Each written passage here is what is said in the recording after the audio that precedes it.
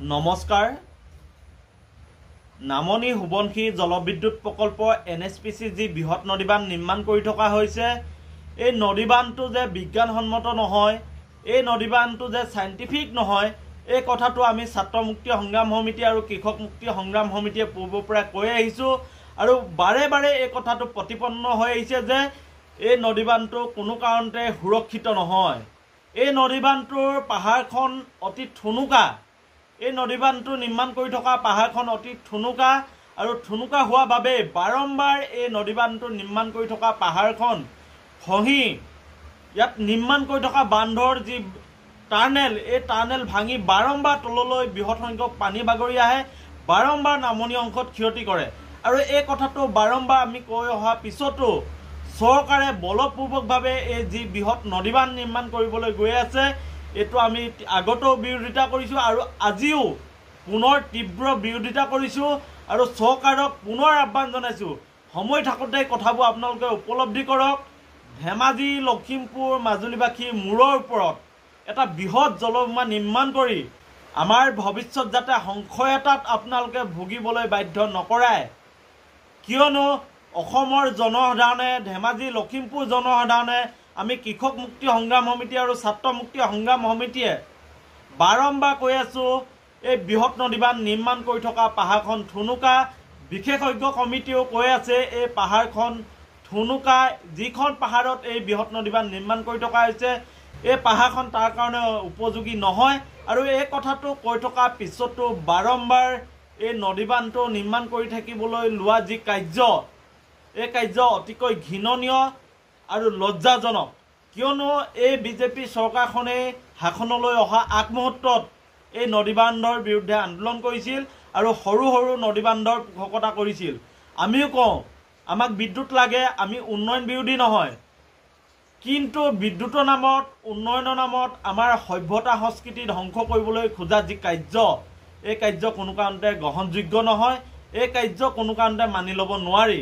এতিয়া আমি দেখিবলৈ পাইছোঁ এন এছ পি চি যি মূল বান্ধৰ ওপৰেদি যি ধৰণে নামনি অংশলৈ পানী বাগৰি আহিছে দুখনকৈ টাৰ্নেল ভাগি গৈছে তাৰ পাহাৰখন জহি হৈ গৈছে।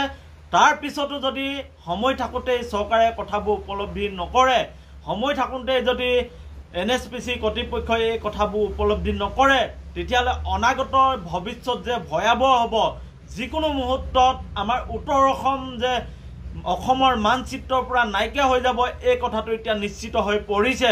গতিকে আমি চৰকাৰক আহ্বান জনাওঁ সময় থাকোঁতে কথাবোৰ উপলব্ধি কৰক। আমি এন এছ পি চি কৰ্তৃপক্ষক আহ্বান জনাওঁ আপোনালোকে য'ত বৃহৎ নদীবান্ধ নিৰ্মাণ কৰি আছে এই ঠাইডোখৰ কোনো কাৰণতে নদীবান্ধ নিৰ্মাণ কৰিব পৰা কাৰণে উপযোগী নহয়।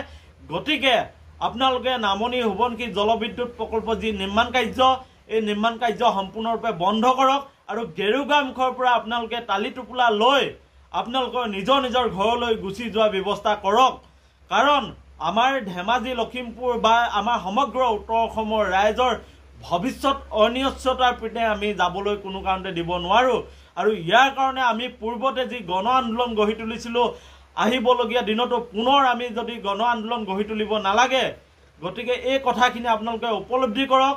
আমিও আন্দোলন বিচৰা নাই। যদি আন্দোলন কৰিবলগীয়া হয় পুনৰ আমি ৰাজপথত ওলাই যাবৰ কাৰণে সাজু আছোঁ। গতিকে সময়ৰ আহ্বান আপোনালোকে শুনক।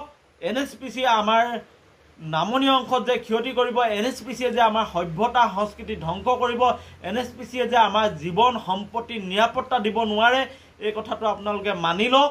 আৰু এই কথাটো মানি আপোনালোকে সময় থাকোঁতে গেৰুগামুখৰ প্ৰকল্পস্থলীৰ পৰা আপোনালোকে টালি টোপোলা লৈ ইয়াৰ পৰা গুচি যোৱাৰ ব্যৱস্থা কৰক। ইয়াৰ অন্যথা পৰৱৰ্তী সময়ত আপোনালোকে ভয়াৱহ প্ৰতিবাদৰ যি সন্মুখীন হ'ব লাগিব আৰু ইয়াৰ বাবে কিন্তু কোনো কাৰণতে আমি উত্তৰ অসমৰ ৰাইজ জগৰীয়া নহ'ম। ইয়াৰ কাৰণে কোনো কাৰণতে আমি কৃষক মুক্তি আৰু ছাত্ৰ মুক্তি সংগ্ৰামী জগৰীয়া নহ'ম। পূৰ্বৰ দৰে যি গণবিদ্ৰোহ এই গণবিদ্ৰোহ হ'ব।